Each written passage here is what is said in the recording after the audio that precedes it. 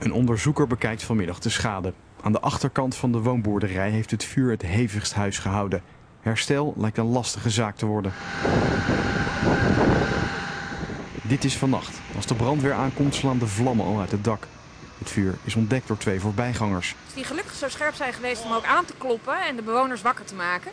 Dus de bewoners waren gelukkig al buiten toen wij ter plaatse kwamen. In de woonboerderij woonden twee families. Een ouder echtpaar en een gezin. Allebei ontsnappen ze aan de vlammen. De bewoners zijn hier ter plaatse nagekeken door de ambulance en die zijn gelukkig ook niet gewond geraakt en hoeven niet vervoerd te worden. In de strijd tegen het vuur zet de brandweer een ladderwagen in. Brandweermensen blussen niet alleen buiten, maar gaan ook naar binnen. Ze kunnen voorkomen dat het vuur overslaat naar omliggende panden. Voor de Koude Kerker staat de wind gunstig. De rookwolken worden over de weilanden geblazen. Rond kwart over twee heeft de brandweer het vuur onder controle. De oorzaak van de brand is nog onduidelijk.